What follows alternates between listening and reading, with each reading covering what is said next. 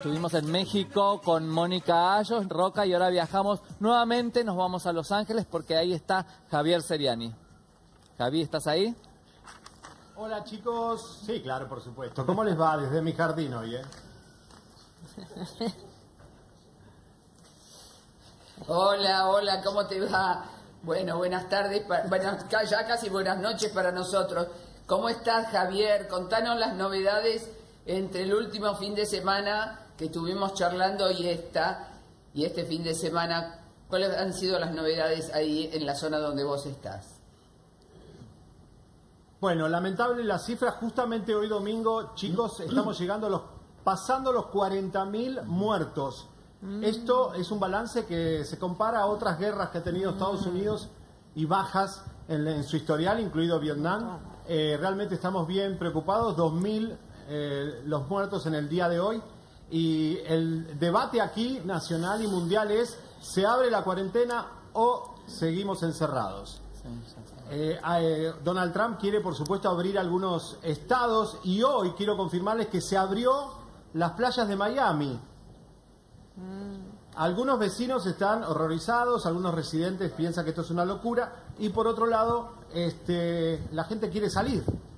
Entonces, claro, entiendo que la playa, el mar, el viento ayuda que quizás haya más distanciamiento, pero eh, miren lo que ha pasado. Tocó David Guetta en el downtown de Miami y la gente se reunió a hacer paris y fiestas en los departamentos de Miami.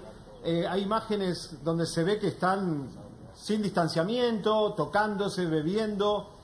Yo creo que hay gente que todavía no entiende lo que está pasando. Y hicieron un concierto increíble Lady Gaga que juntaron 127 millones de dólares para la Organización eh, Mundial de la Salud.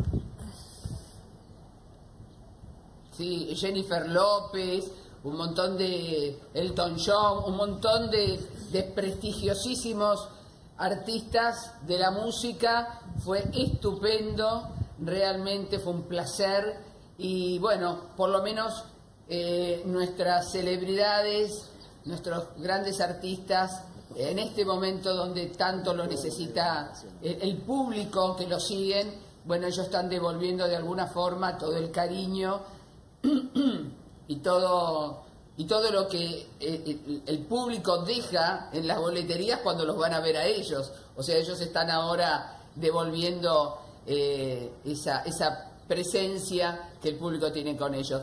Eh, contame el gobernador del estado donde vos estás, ¿qué, qué, decide? ¿De qué lado está? ¿Del lado de Trump? ¿Está en la vereda enfrente? ¿Que piensa abrir también los comercios? ¿No? Contame un poquito. Mira, lo que está pasando es que el gobernador, que es contrario a Donald Trump, por supuesto, California es muy demócrata, eh, no quiere que abramos hasta el 15 de mayo. Lo que pasa que la economía eh, se está, está entrando en un, en un, momento muy difícil. Quiero darle una mala noticia a Susana Jiménez. Se va a ir a bancarrota la tienda preferida de su, que es Neyman Marcus. Sí.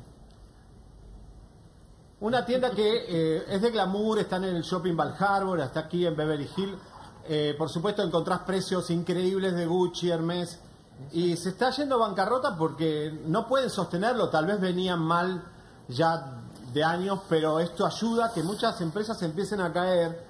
Y ese es el miedo de Estados Unidos y del mundo entero. O sea, Irak quiere abrir, Suecia quiere abrir, el Reunin, el Reun, eh, eh, Inglaterra quiere abrir porque eh, realmente Inglaterra quiere abrir porque realmente las empresas están sufriendo, la gente quiere salir y hay protesta, Susana y Daniel, en San Diego, en Wisconsin y en Los Ángeles. Eh, empezaron a salir la gente a la calle como protestando, esto es peligroso, delicado, eh, como que no, queremos salir. Y lo que sí no se debate aquí son los eh, la gente de la tercera edad y de los 70 años, como veo que están debatiendo en la Argentina. Aquí sí hay, murieron muchos viejitos, eh, mucha gente en los geriátricos, pero realmente este, no se está debatiendo eso, por ejemplo, y no creo que Estados Unidos imponga una ley donde la gente mayor de 70 años no pueda salir. Como lo está debatiendo el Reino Unido, Francia y otros países más. De hecho, mira, se murieron dos. Bueno, eh, siempre el, desde- el dibujante de Tom y Jerry, de Pinocho, de Popeye, de La Sirenita. Pero son gente que tenía noventa y pico de años. Algunos murieron por el coronavirus porque tenían una neumonía. Y otros se murieron porque se tenían que morir, ya De era su tiempo, su edad. Y claro, y hoy, chicos, y les digo esto por el tema de los 70 años. Sí. Hoy murió, eh, no, perdón, no murió. Le cortaron una pierna a uno de los actores más conocidos de Broadway, este, Rick Cordero, porque cuando le trataron con coagulantes se le complicó. Entonces, es un chico joven, bailarín, actor, saludable y está con un respirador luchando contra el coronavirus. O sea, el coronavirus no discrimina de edad. Obviamente hay gente que tiene asma, que tiene enfermedades, que es mucho más complicado. Y eso es lo que estamos viendo. Este, ¿Qué vamos a hacer? Si abrimos pronto o no, tal vez salir y empezar a tener un, un comportamiento distinto. Por ejemplo, que no haya cines o que en el cine entren solo tantas personas, que los restaurantes tengan unas restricciones, cuánta gente, cuántas mesas van a estar habilitadas. Ese es el debate. ¿Cómo se reabre el mundo eh, en los restaurantes, en los conciertos? el- eh, los trabajos obviamente van a empezar a, a trabajar otra vez y a comunicarnos con nuestros compañeros con menos personal tal vez, tal vez y los que puedan trabajar de casa desde casa. Vos, seguís eh, trabajando desde tu casa, ¿no? Todavía a los estudios no entraste. No, todavía no. Hay conductoras que se están haciendo estudios de televisión en su casa.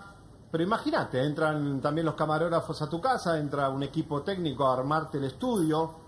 eh, y, y hay un debate sobre cómo vamos a continuar algunos, comunicando. Lo que sí, Susana y Daniel, el rating de la televisión está en su máximo esplendor, Esplendor. porque revientan los ratings. Sí, las televisoras que con la internet habían caído mucho, están subiendo muchísimo. Y otro debate es, lo, lo planteó Ricky Martin. Ricky Martin tiene su esposo, hijos y su mamá. ¿Saben quién sale a hacer las compras y se arriesga a contagiarse? La mamá. Ricky Martin. Ah, porque Ricky, dice, yo no. no quiero... No, no, Ricky, pero a ver, Ricky. si Ricky se muere en esa casa, Claro. ¿Qui- ¿De qué viven? Porque el marido es un mantenido. El- la mamá y los hijos dependen de Ricky. Claro. Sin embargo, él dice que no confía en el esposo Y sí, es Gaby, no terrible. seas para que, malo. porque capaz, claro, el, el- chico... lindo. No, pero en serio.